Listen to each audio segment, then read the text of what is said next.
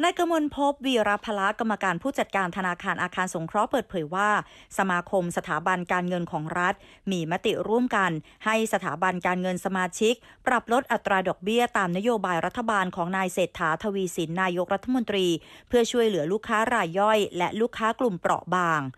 โดยทอสปรับลดอัตราดอกเบี้ยเงินกู้สำหรับลูกค้ารายย่อยชั้นดี หรือ MRR ร้อยละ 0.25 ต่อปี จากเดิมร้อยละ 6.795 ต่อปี ลดลงเหลือร้อยละ 6.545 ต่อปี เป็นระยะเวลา 6 เดือน เริ่มมีผลตั้งแต่วันที่ 1 พฤษภาคม 2567 เป็นต้นไป เพื่อช่วยลดภาระค่าใช้จ่ายให้กับลูกค้ากว่า1ล้าน8แสนบัญชี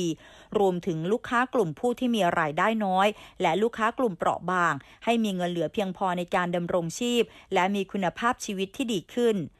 นอกจากนี้ทอสอยังพร้อมสนับสนุนการออมภาคประชาชน ให้มีวินัยทางการเงินเพิ่มมากขึ้น ด้วยการเพิ่มทางเลือกในการออมเงินที่ได้รับผลตอบแทนสูง จึงได้จัดทำผลิตภัณฑ์เงินฝากออมทรัพย์ เก็บออม เพียงเปิดบัญชีเงินฝากขั้นต่ำ500 บาทขึ้นไป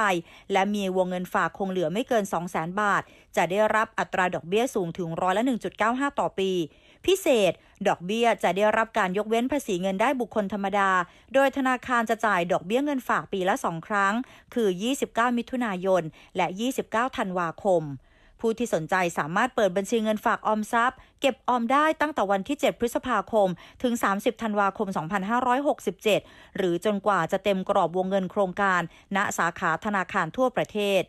ทอสในฐานะสถาบันการเงินของรัฐ ที่มีพันธกิจทำให้คนไทยมีบ้าน โดยตลอดระยะเวลากว่า 70 ปี ได้ทำให้คนไทยมีที่อยู่อาศัยแล้วมากกว่า4ล้าน4แสนครอบครัว พร้อมให้บริการลูกค้าทุกสาขาทั่วประเทศ หรือ GH Bank Call Center หมายเลขโทรศัพท์026459000 หรือที่ Facebook Fanpage ธนาคารอาคารสงเคราะห์